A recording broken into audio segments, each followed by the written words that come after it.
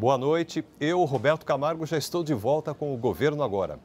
O Revalida, prova necessária para validar no Brasil o diploma de quem se formou em medicina fora do país, já tem data marcada.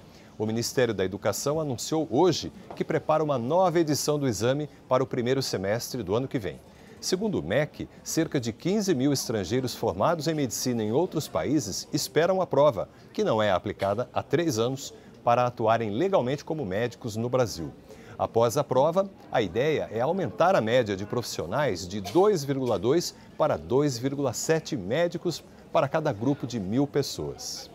O Ministério da Economia publicou hoje uma portaria que cria o Programa de Melhoria Contínua da Competitividade. A meta, a longo prazo, é tornar o país mais atrativo a investidores, além de gerar emprego e renda.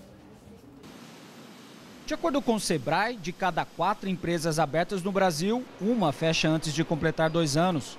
O excesso de burocracia e as dificuldades estruturais e econômicas estão entre os principais motivos. É o chamado custo Brasil que pesa para quem investe no país. Em média, consome por ano um trilhão e meio de reais das empresas brasileiras.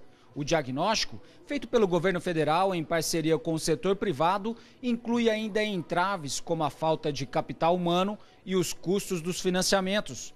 Tudo isso somado atrapalha a competitividade do setor produtivo. 1,5 trilhão de reais é o custo que as empresas têm no Brasil, além daquelas que são nossos competidores na OCDE, para fazer negócios no nosso país.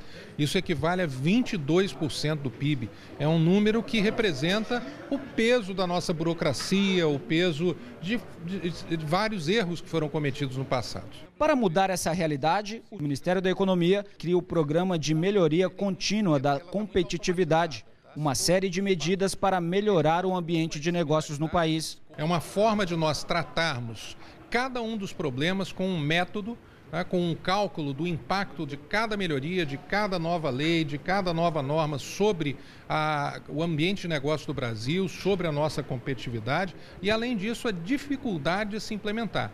Com base numa matriz de priorização, nós vamos trabalhar para que o nosso custo Brasil se reduza o mais rápido possível. E você já está de olho na Black Friday? Além de preparar o bolso, é preciso ficar atento para não cair em golpes, viu? Confira aí na reportagem as dicas da Secretaria Nacional do Consumidor.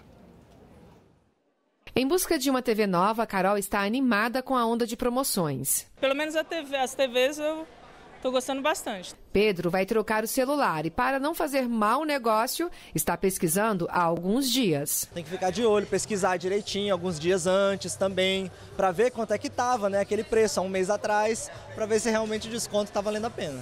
As dicas do Pedro podem ajudar o consumidor a não cair numa furada na sexta-feira de descontos pelo país. A Secretaria Nacional do Consumidor do Ministério da Justiça também está de olho na famosa Black Friday. O consumidor que se sentir lesado em compras compras na Black Friday, pode recorrer ao Procon ou registrar uma queixa sem sair de casa no site consumidor.gov. A plataforma do Ministério da Justiça funciona como intermediário entre o lojista e o consumidor. As maiores empresas do país estão cadastradas na página e a solução de um problema não costuma passar de uma semana. Cuidar com falsas promoções, pegadinhas. Né? Realmente tem que ser desconto concedido em vários é, produtos, né? não só num, não só um, um, um modelo que ninguém quer. É, depois, é, não se endividar, comprar por necessidade é, e, finalmente, é, cuidar com produtos pirata. Fazendo uma verificação se aquela empresa está na plataforma, se ele vai ter como reclamar. No fim das contas, a dica principal é mesmo gastar sola de sapato pesquisando. A diferença de uma loja para outra é 20 reais, que faz a diferença para a gente que trabalha dia a dia, não tem salário assim, uma renda fixa. Então qualquer 10 reais que você economiza já, já, é pra, já serve para você fazer outra coisa. É isso mesmo. A gente fica por aqui. Uma boa noite para você e até amanhã.